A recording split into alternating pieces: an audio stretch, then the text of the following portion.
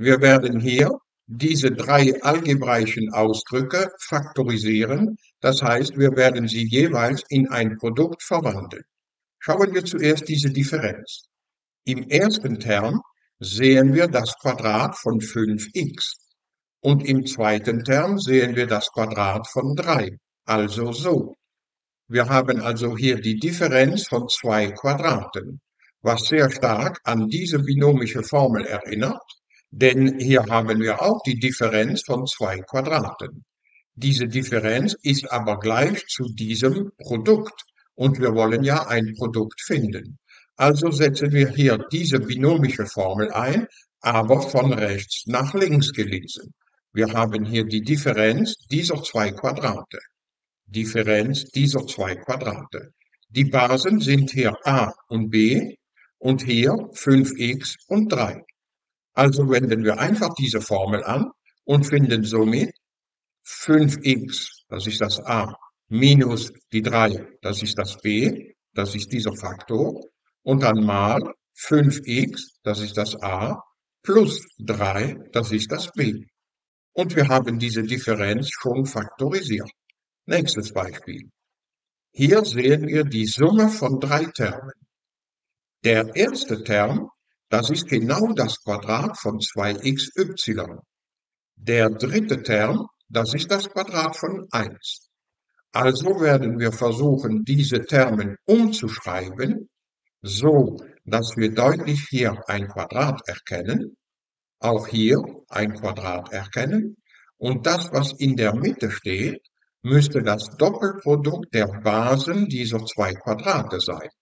Denn so könnte man diese binomische Formel anwenden, aber von rechts nach links. Denn die Formel macht dann aus dieser Summe ein Produkt. a plus b im Quadrat ist ein Produkt. Das ist ja a plus b mal a plus b. Überprüfen wir hier. Der erste Term ist effektiv 2xy im Quadrat.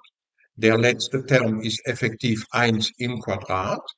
Und um diese Formel anwenden zu können, müssten wir hier in der Mitte zweimal diese Zahl mal diese Zahl haben. Und genau das haben wir. Denn 2 mal 2xy mal 1, das ist genau 4xy.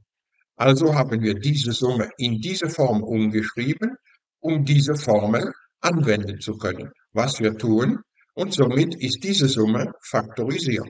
Das Quadrat bedeutet ja, es ist diese Klammer mal sie selbst. Drittes Beispiel.